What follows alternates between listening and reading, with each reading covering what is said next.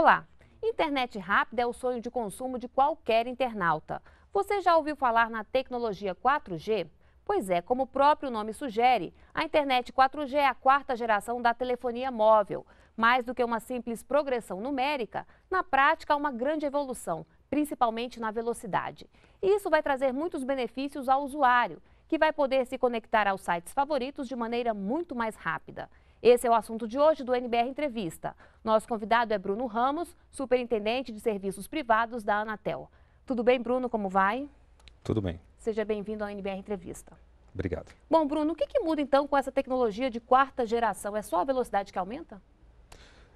Olha, hoje em dia, qualquer ação que as pessoas usam em termos de comunicação, de acesso à internet, cada vez mais a, a busca da informação vem em sites com um volume maior de conhecimento que eles gostariam de acessar. Então, hoje em dia, todas as pessoas buscam conexões mais rápidas.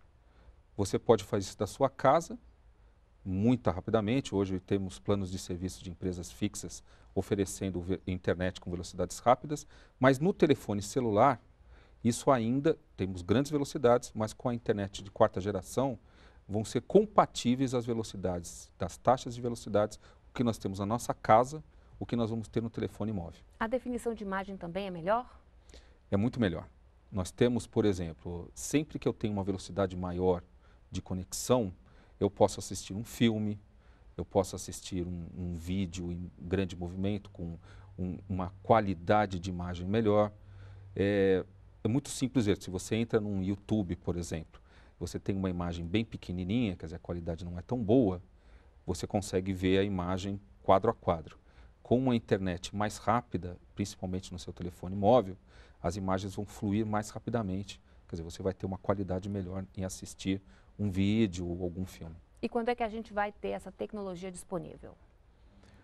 Olha, a Anatel fez um edital em 2012, no mês de junho. Nós temos um planejamento nas cidades que vão ser sede da Copa das Confederações. A princípio, nós teríamos seis cidades no Brasil. Ah, já em 2013, nós teremos nessas seis cidades a internet quarta geração. E para o resto do país, qual é o cronograma? Na cidade sede e subsede da Copa do Mundo 2014, que já sobe de 6 para 22, então nós teremos em 2014 nessas grandes cidades, que são geralmente as capitais dos estados, já teremos também a internet de quarta geração em 2014. Agora, na Rio Mais 20, vocês fizeram um, uma experiência né, com a internet de quarta geração. Como é que foi? Foi muito boa. Foi um sistema que foi feito num local pequeno. Só que o número de pessoas que acessavam as comunicações móveis era muito grande. Né? Então, quer dizer, tínhamos é, delegados de vários países que trouxeram seus equipamentos. Então, de alguma forma, foi muito bem sucedida a experiência na Rio Mais 20. E o Brasil é um dos primeiros países a implantar essa nova tecnologia? Dos países da América do Sul e América Central, sim. É, um dos primeiros países do mundo, incluído o país da Europa. Nós temos hoje em dia os Estados Unidos com uma grande planta de celular de quarta geração, mas os outros países ainda são incipientes. Então o Brasil se posiciona com esse edital da Anatel no rol de países que estão no topo da comunicação móvel. Bom, o brasileiro gosta muito de tecnologia, gosta de trocar o celular, comprar um aparelho mais moderno. O consumidor deve ir correndo às lojas, comprar um aparelho. Se, por exemplo, vai viajar para o exterior, vale a pena trazer um produto importado? Olha, boa, boa pergunta. Como eu disse, o nosso planejamento é a implantação da rede de quarta geração, ela vai ser feita ainda durante 2013 para termos algumas cidades, em torno de 20 cidades em 2014. Então, temos tempo ainda. Não precisa ter pressa. não precisa ter pressa. O, o número de terminais ainda está sendo construído. Nós temos os celulares de terceira geração no Brasil. Todas as cidades grandes já têm 3G. Quer dizer, a comunicação tem uma boa velocidade. Os modems 3G também hoje, a maioria das pessoas já tem. A quarta geração, nas cidades em 2013 que será disponível, aí sim nós vamos ter algum, alguns outros terminais disponíveis. Mas Vamos com calma, nós temos um ano ainda de implantação, o investimento é muito grande, quer dizer, o investimento das empresas que vão colocar esses equipamentos é um investimento grande, o número de, de antenas é muito grande também. Então o Brasil tem um bom tempinho até isso entrar em, em operação em 2013. E esses aparelhos eles devem ser muito caros? Qual é a previsão? Eu sei que vocês não controlam isso, mas assim, uma ideia, vocês Olha, têm? A, a tendência dos terminais de usuário é sempre depender da demanda. Então, se eu tenho uma grande demanda, pessoas comprando esse terminal, a tendência é que o preço caia. Logo no início de uma implantação, os terminais não são tão baratos. Mas a tendência é que essa quarta geração é um padrão mundial, o Brasil está completamente alinhado com os padrões internacionais. Então, todos os países do mundo vão ter internet de quarta geração. Os Estados Unidos já possui. Então, a tendência é que os terminais sejam muito acessíveis, em preços inclusive mais baratos, quando estiverem à disposição dos terminais terceira geração que nós temos hoje. O senhor disse também que, é, em relação ao serviço, também vai ser mais barato que o que a gente paga hoje para o 3G? Com certeza, porque a, a quantidade de valor que uma empresa cobra, ela depende também da demanda. Hoje em dia, é um número expressivo de pessoas que utiliza a internet móvel. Nós estamos falando de internet fixa, que é aquela da nossa casa, mas cada vez mais as pessoas, se você andar pela rua, você, você vê todo mundo mexendo, mexendo, acessando o site, eu quero ir num restaurante, entra para saber qual, qual é o telefone ou se eu faço reserva. E é impressionante, porque é jovem, adolescente, Exatamente. adulto. Então, a, a, a, comunicação móvel, o acesso à internet comunicação móvel é uma situação que vai acontecer, é uma situação que é impossível ser revertida. E com isso, com essa quantidade de pessoas que utilizam, o preço também vai cair. Bom, em relação à qualidade do serviço, hoje a gente contrata um serviço, por exemplo, você contrata é, um pacote com uma determinada velocidade, mas na prática você nem sempre consegue atingir essa velocidade. Que garantia que o consumidor tem que na quarta geração isso vai ser diferente? É, independentemente da terceira ou quarta geração, existe uma regulamentação da Anatel sobre qualidade de transmissão de dados. É um regulamento que foi publicado em outubro de 2011, com entrada em vigor em outubro de 2012. Então, esse regulamento ele traz é, padrões de qualidade que devem ser atingidos para qualquer tipo de comunicação de dados, independentemente se é terceira geração, o que nós temos hoje, ou quarta geração. Então, são coisas distintas. A Anatel, ela, com essa regulamentação, ela busca padronizar a qualidade. Quer dizer, se uma empresa fala assim, olha, vou te oferecer uma comunicação de 1 megabits por segundo. Ela vai ter que cumprir. Ela tem que cumprir exatamente o que ela faz. Então, essa regulamentação, ela já, já foi aprovada em outubro do ano passado, sendo a implementação dela durante o ano de 2012, para começar a valer a partir de outubro.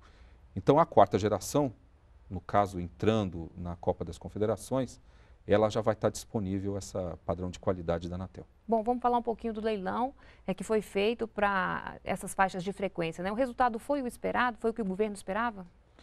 O leilão do 4, da 4G foi excelente para a Anatel atingir o objetivo. Nós temos é, quatro grandes grupos com cobertura nacional. Isso quer dizer o quê? O usuário vai ter alternativa, pelo menos quatro empresas em qualquer área geográfica do Brasil eu, se eu não estiver satisfeito com uma empresa, eu posso ir para uma outra. É a base, a competição é a base de oferta de serviço com preço baixo e qualidade. Então, nós tivemos quatro competidores, todos com frequência nacional e alguns competidores regionais. Em algumas cidades do Brasil, nós não vamos ter quatro, nós vamos ter até seis prestadores de internet móvel rápida. E então, concorrência então, é bom para o bolso do consumidor, né? Excelente. A, a competição mostra que algumas empresas colocam um plano de serviço muito agressivo, todas as outras empresas acompanham. Então a competição ela não é ótima, ela é crucial para a obtenção de preços baixos e qualidade boa. Bom, esse leilão foi realizado não só para trazer a internet de quarta geração aqui para o Brasil, mas também para levar a banda larga para a zona rural. Como é que vai funcionar? Qual é o cronograma? O que, que as empresas vão ter que fazer? É, a contrapartida delas é, para montar a estrutura na área rural? Como é que vai ser isso?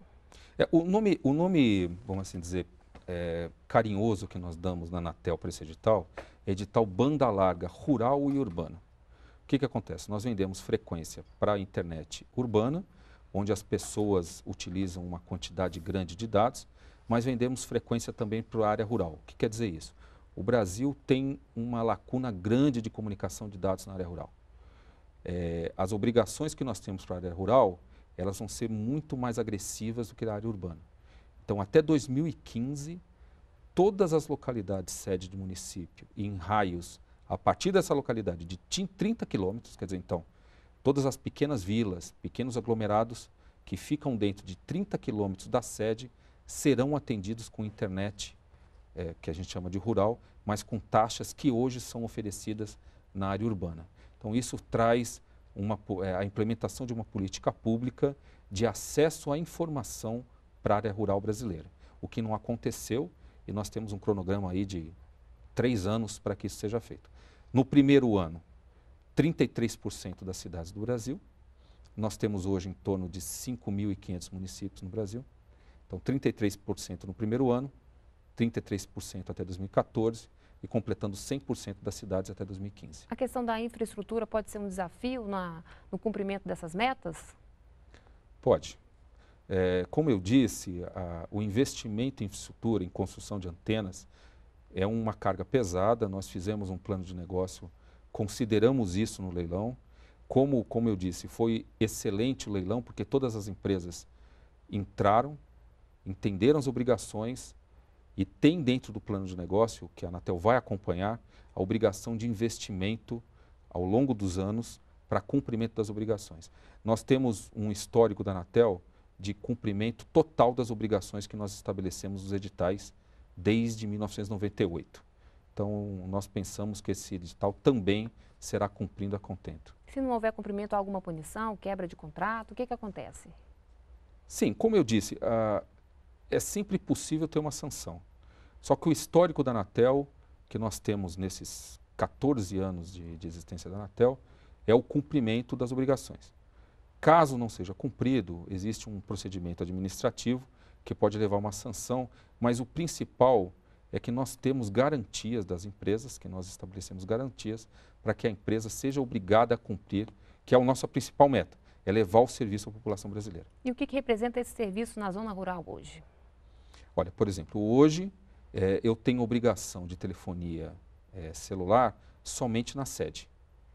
Então, eu, a Anatel, o Ministério das Comunicações, vamos dizer, o executivo como um todo recebe muitos pedidos de, olha, eu tenho uma escola que fica a tantos quilômetros. A obrigação que nós temos é que todas as escolas públicas rurais serão atendidas com internet rápida.